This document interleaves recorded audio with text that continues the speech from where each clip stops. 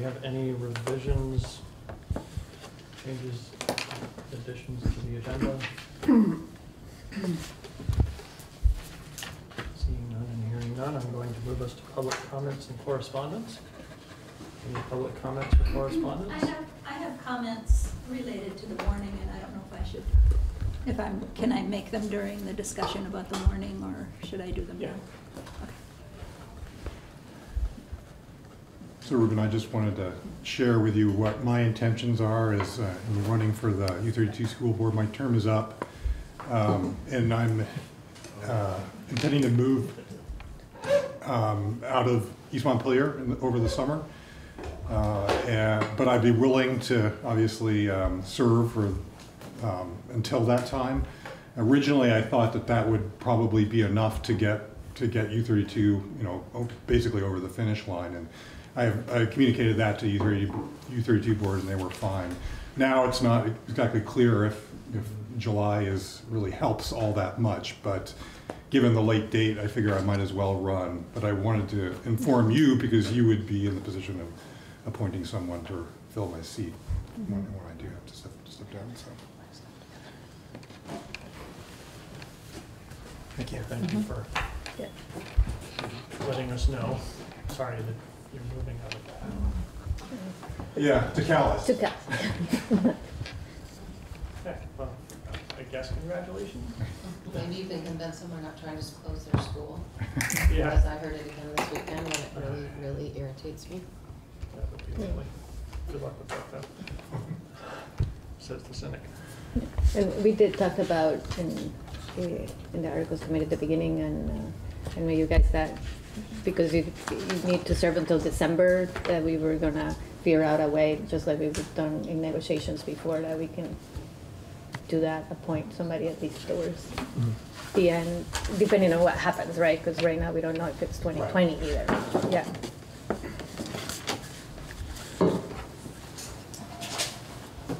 All right, thanks.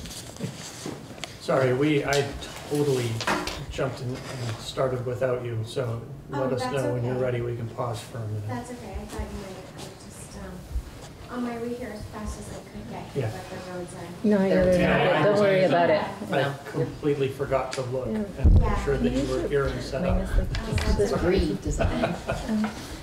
Oh, I I, have I a- might have something Oh, We've only This done one public is a comments, hotel. and you're okay. Yeah, you, you haven't missed much other than the call to order. Okay.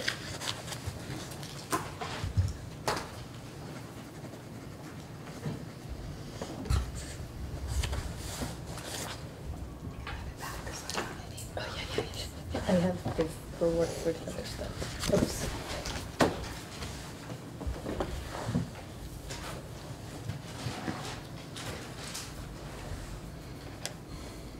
I can distract us, I, because it's School Appreciation Month, I brought you guys some blueberry lemon bars. Oh, yeah. In case you guys have been running around a bit like me and I'm just a little hungry. Thank you. Okay, I'm gonna move us to, I would take a motion to approve the minutes of December seventeenth. So moved. Second. Is there any discussion of the minutes of December seventeenth? Not seeing or hearing any, all of those in favor of approving them as presented, please say aye. Aye. Opposed, abstained. Discussion aden- agenda, town meeting preparation, three point one one, board communications plan.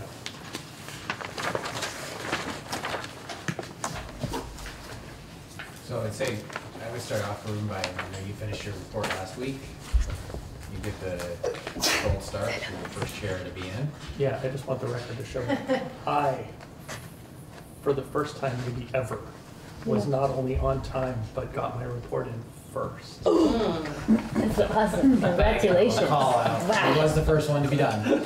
Um, So the report, as we talked about last month, is, uh, is going tomorrow morning to Deb. And it will be should be all set to go, so.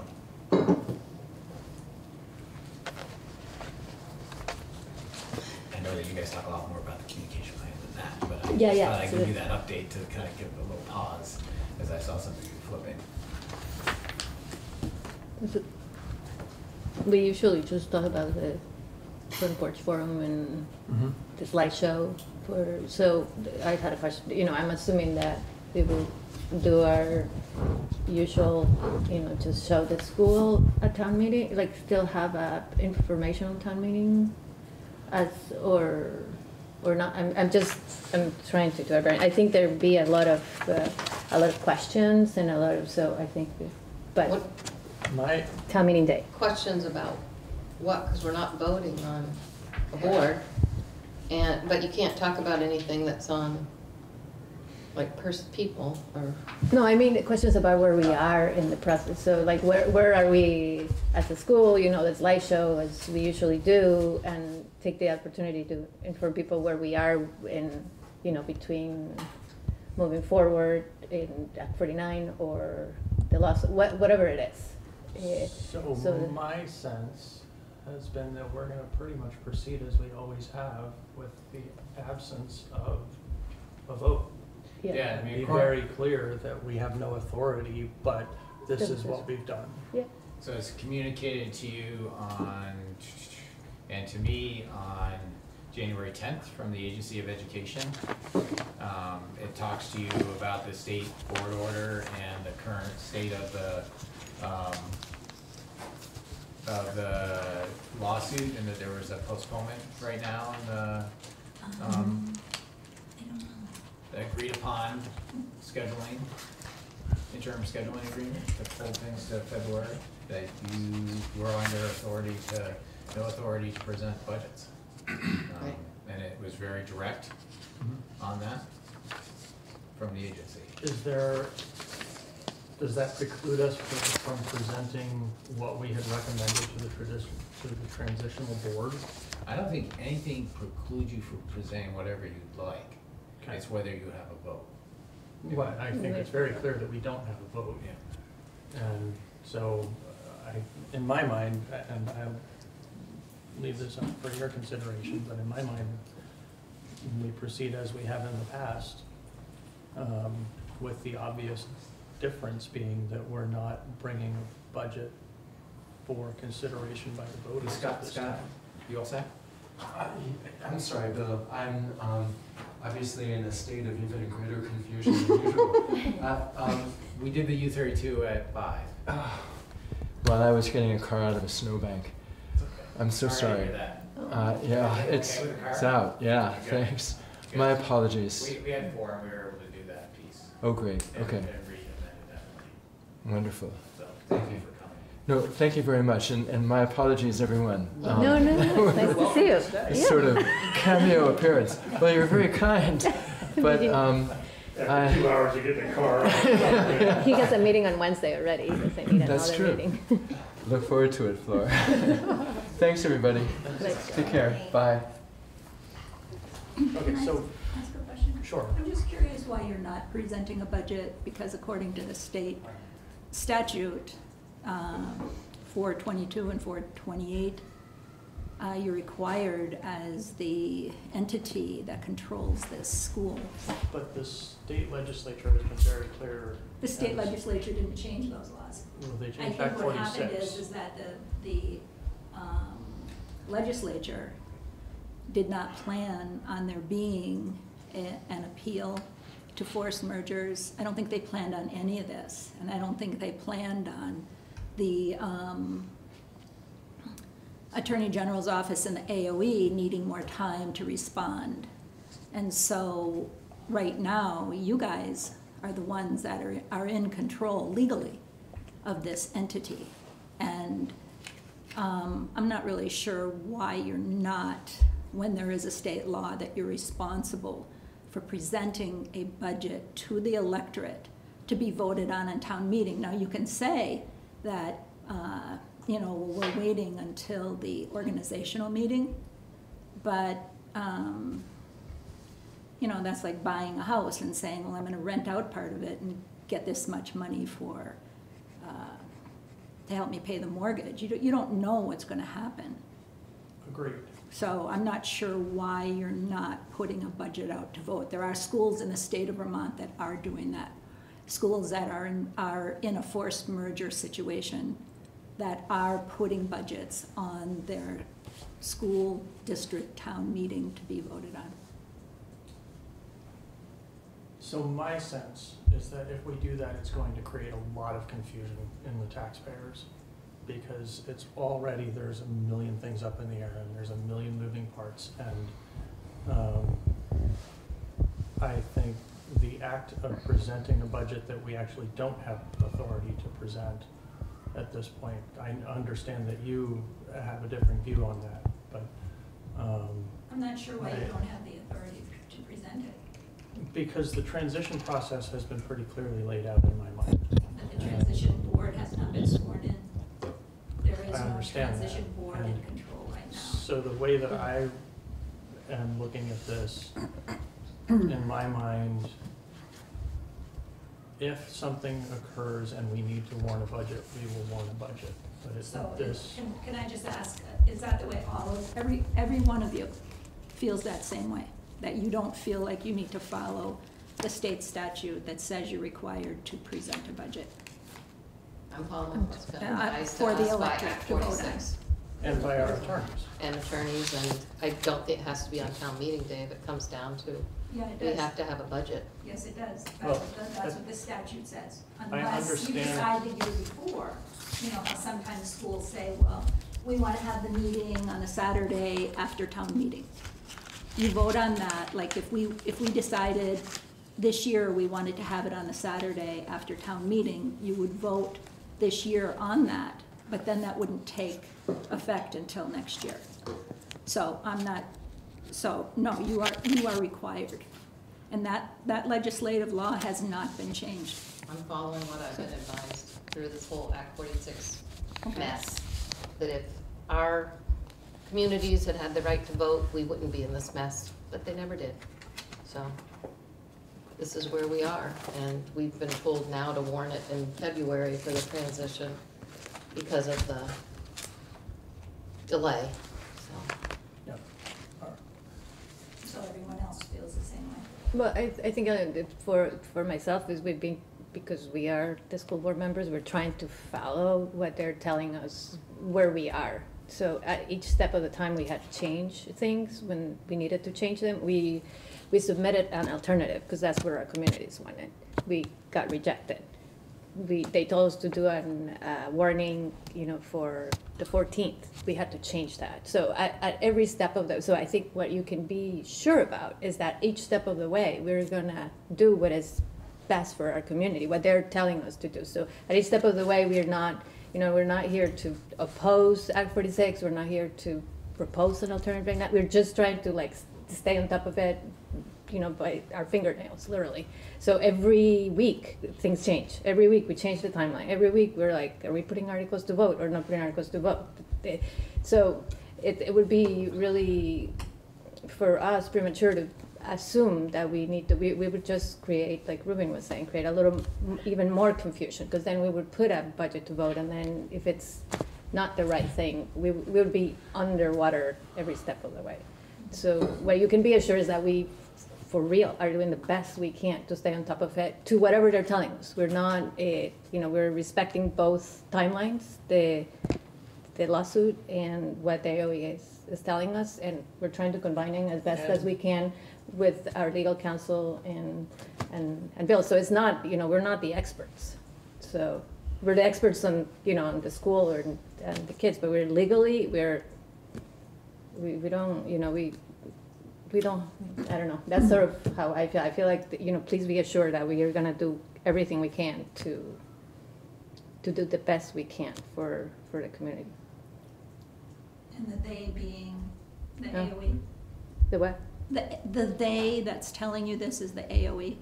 No, no, it's our lawyer, we have, uh, we have a lawyer, Chris Leopold is our lawyer Two, for. two places, you have the. Agency of Education, Yeah, this- that have sent that in written documentation that I have in front of me on my computer, which I've shared with all board members. Yeah. right here. And, um, and then also Chris Leopold, who the Articles of Agreement Committee hired for all the Act forty-six and transition process. And And give me was that. the question ever asked, how does it get reconciled with the other two statutes that say you must present a budget? It was, it, from, I didn't ask that direct question of anybody, what I mm-hmm. did ask was that, what I was told is that we're under current, we're under the current order that was decided on November twenty-eighth in the state board. So Stephen and Darcy, you're saying? So I won't respond as an individual. We should have a motion as a board. And if the an- question is of the board, we should reply as a board. We're not individuals, we're a group. It's true. And then we can express our individual opinions in relation to the motion. And I'd be comfortable making a motion. Go ahead. So my motion would be oh, that we follow the Agency of Education and um, Washington Central Supervisory Union legal advice not to present a budget for vote. I'll second it. Can you add at this moment? At town meeting, or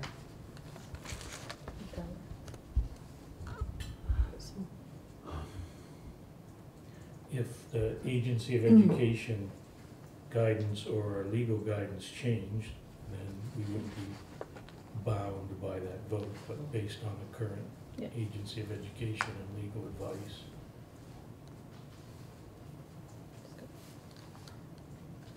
So then I would think it, it's appropriate as individuals to discuss that.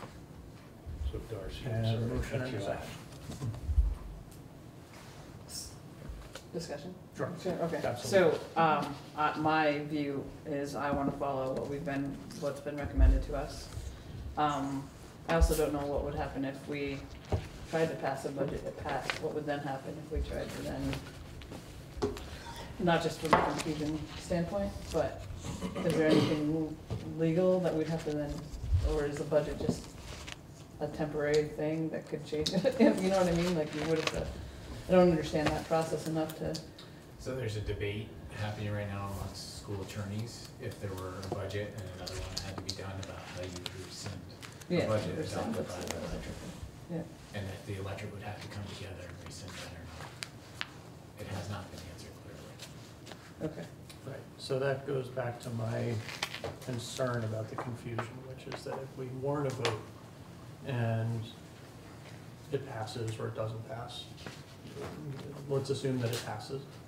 Um, And then the transitional board, or, or actually the new board, then uh, taking aside the legal issue, we're asking the voters to vote again, and then we have to explain what pieces they've already voted on and what pieces they haven't. And in my mind, especially given that our legal counsel and the AOE and the state board are all of one very clear voice, uh, I see lots of downsides and no up for our warning a budget at town meeting. That's, that's my personal stance on it.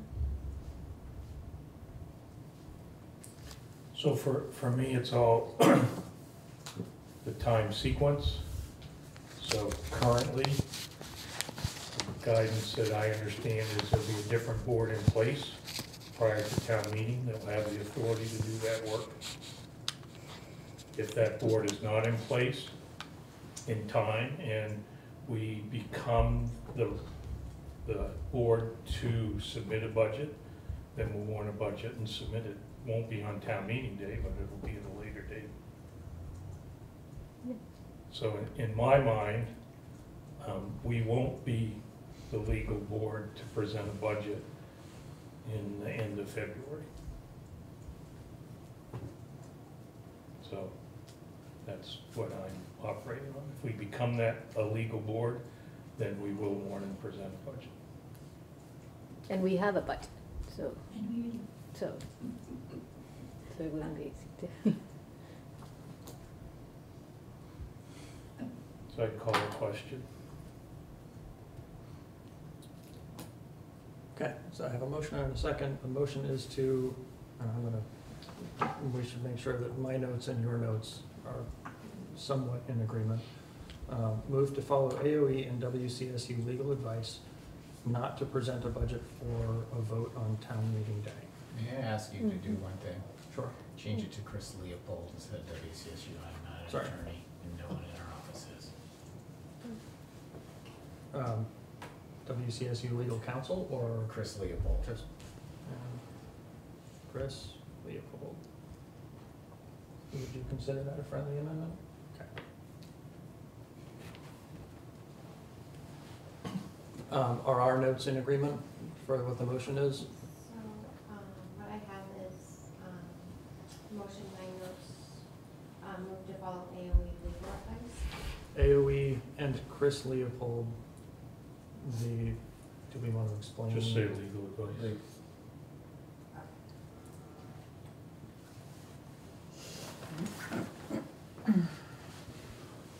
So the motion is to follow AOE and Chris Leopold's legal advice not to present a budget for a vote on town meeting day. On town meeting day? Or Correct. not on town meeting day? Uh, Not to present a budget for a vote on town meeting day. I'm sure that could be done with fewer words, but that's what I do. Uh, Made by Steve and uh, seconded by Lindy. All those in favor, please say aye. Aye. Opposed, abstain? Thank you. Um, three point one point two, school board member elections. So we have two board members who need to, um, in a pretty short time, have their petitions in. Next Monday would be the short time. Yep, Oh, good. yeah. Um, I better do that. yeah, Prob- probably, uh, probably tomorrow would be a good day to Just leave it at school. Does that need further discussion beyond that? Does not, correct? No, and Carter was here earlier explaining the U Yeah. thirty-two. So, So it's you and Steven. yeah. Three point one point three. East Montpelier T- School, Town School District, East Montpelier Town School District Town Meeting Warning. So we gave you two versions of the warning, one with the public meeting on it.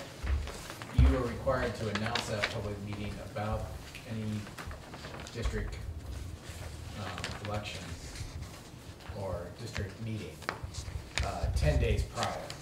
If you did it in the morning, then you're all set. If this is when you want it, if you want a different time, you could amend it right now. Or we could do the first option on page four that doesn't say when the meeting is happening. So this is part of what, Laura, you were talking about earlier. Mm-hmm. And so Krista actually said, she said, why don't we give both, all the boards, which we've been doing, the option to put it right on the warning or not? And so if you'd like it on the warning, we can do it with what's on page five, and if it's a different time and date, you can amend that right now. That's been traditionally when you had it, which is the Saturday before at nine thirty. Mm-hmm. Okay. So, just trying to, it was a good, good thought by Krista to give you some options. Is there any reason that we would not want to, I mean, this sort of loops back to the conversation that we started to have a bit ago, which is any reason to stray further from our norm other than? Okay, I- I'm, Wait, I'm gonna clarify I'm and just- say, oh, yeah, in I'm my mind, confused, confused. What we should present just like we would normally do on Saturday morning for town forum. Um, with, again, the very clear position being that we are here for informational purposes only and we are not going to be voting on Tuesday. Mhm. Um, but we're here to answer questions just like we always are. Does that make sense to everybody else? Because it's really just that Article one and two, Correct. Yeah. to present a report. Correct? Um, I, I, yeah, I don't know about the moderator piece. Yeah. That's on the Um, Australian ballot, isn't it? No, the moderator's not there's- on the Australian ballot. Yeah.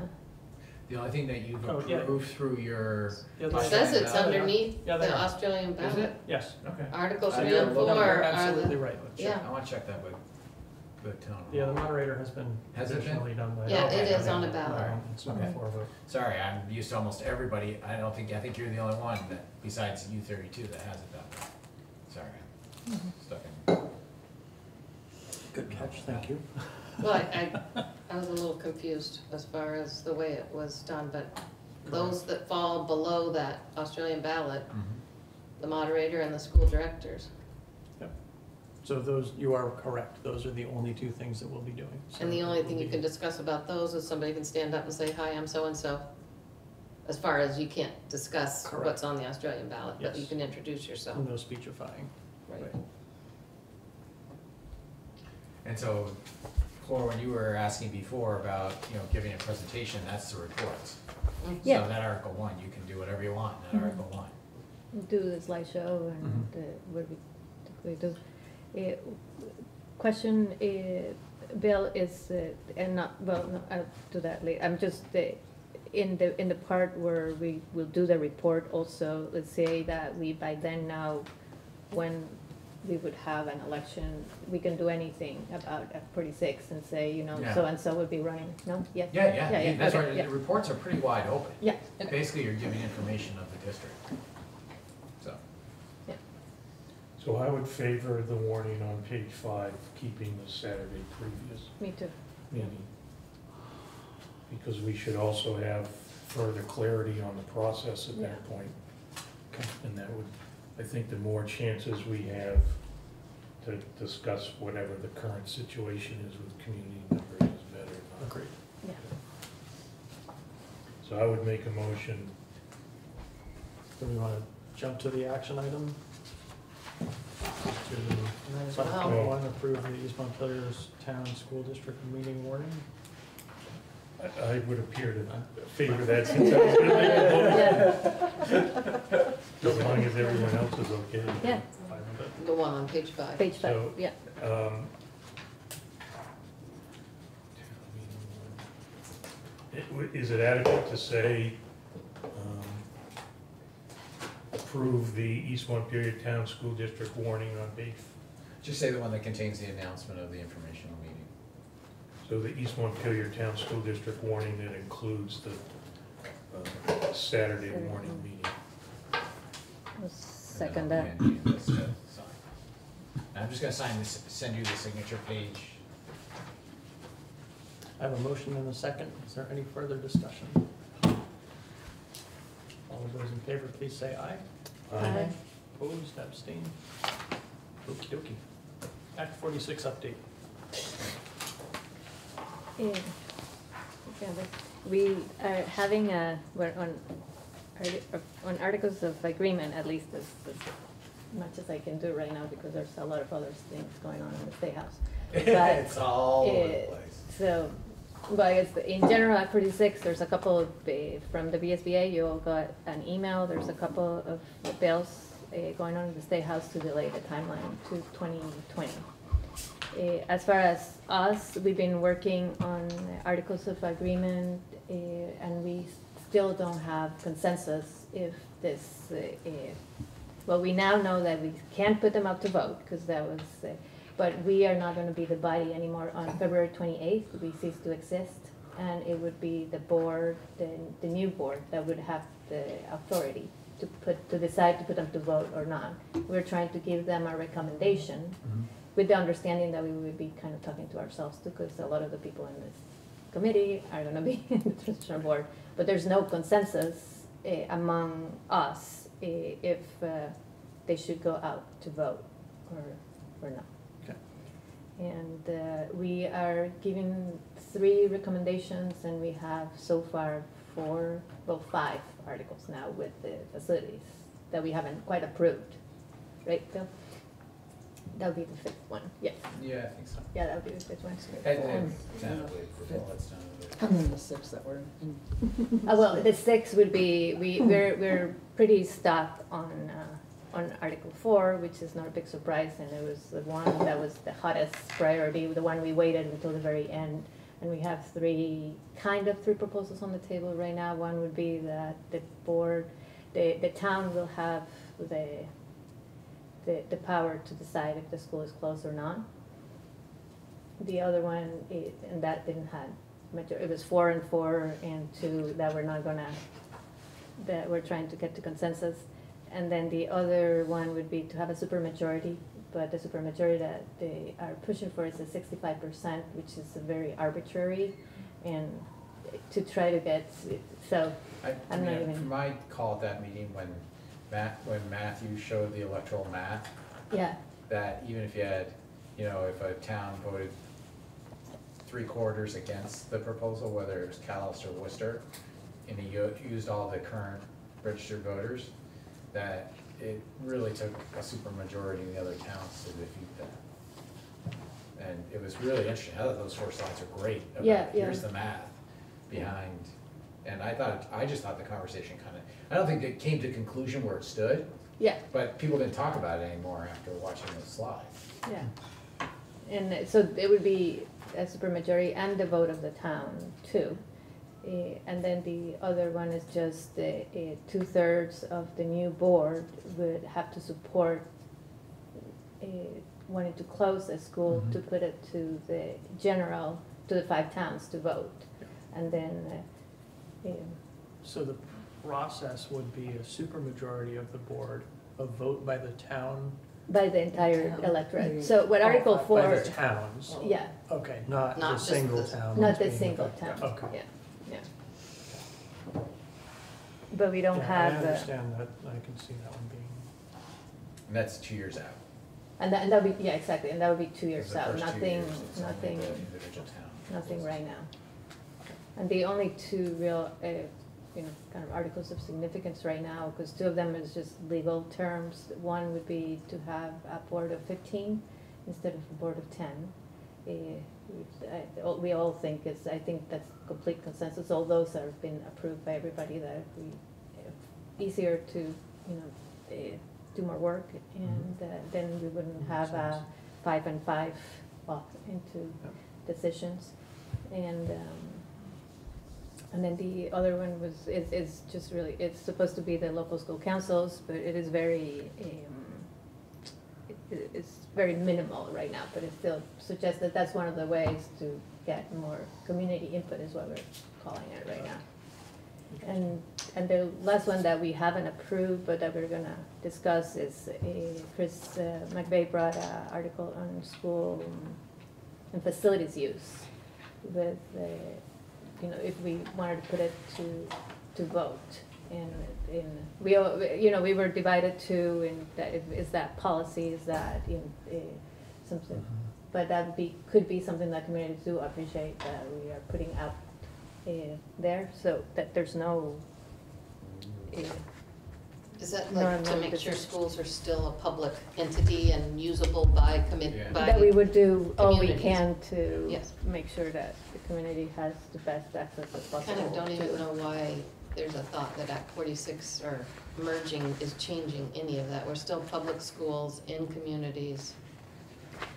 No, and the biggest factor Right. that always goes into that is insurance. Usually it has Mhm. nothing to do with governance.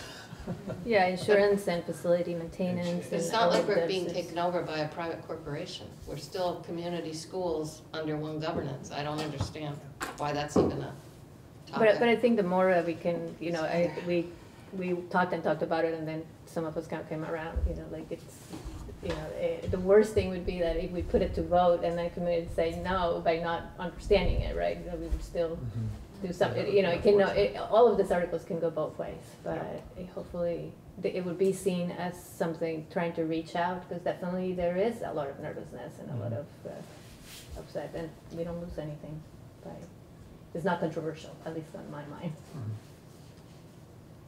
Eh, I think that's all I have. We have February eighteenth, nineteenth, nineteenth, because we Tuesday changed the it 19th. once more. I've been scared to death to put anything on for First Forum because everything keeps changing so quickly and Bill has done real, some eh, updates Yeah, on I'm gonna be doing YouTube and new- stuff. I'm gonna be, I've been asked a couple questions about what's actually the transition plan, kind of like some of the details I'm not gonna get into the micro details. I've got a project plan that's about a couple pages long. Uh, we've, Laura and I sat down during Christmas and built a project plan. So I'm gonna give, my next video is gonna be about what's the transition process, the places we have to tackle. Um, so, that, I mean, So for now, mark your calendars. February, February nineteenth is uh, what? The the organizational, the organizational, uh, it may be the organizational meeting.